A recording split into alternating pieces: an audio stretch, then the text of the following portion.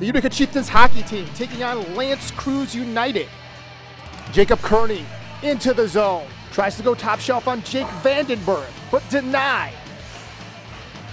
At the other end, L'Anse Creuse United's Reed Walleman just over the crossbar. Jeremy Hayes for L'Anse Creuse Unified right into the glove of Mason Waldron. Odd man rush for Utica. Zach Essenmacher looks like it goes in, but no, it's stuck on the side of the net. Hunter Ludwig tries to go five hole, but Mason Waldron closes the pad. Ethan Allward for L'Anse Creuse Unified. This big hit right here sends Collar Mullins to the sin bin. Another shot, but this time by Andrew Kosmala. But we go into the locker room, still knotted up at zero. Jeremy Hayes for L'Anse Creuse Unified. Then for the Utica Chieftains, Jacob Kearney. A wrister from just inside the blue circles. Another chance for Utica. This time Max Hartwell. But no one could get past Jack Vanderberg. Odd man rush. Utica. Centers to Turner Tomati.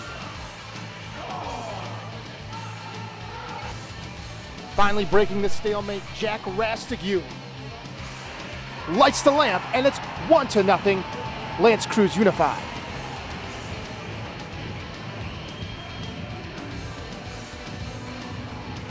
Riley Kraus with a laser. But Jake Vanderberg is there to make the save.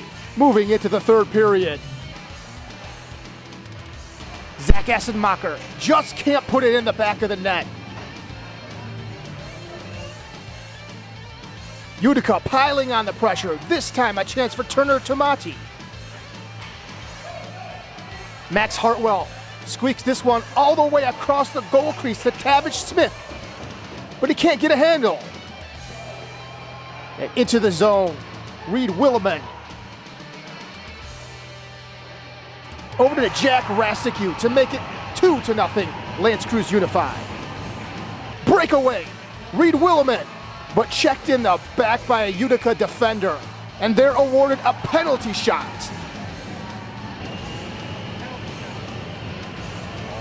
But Reed Williman can't put it past Mason Waldron.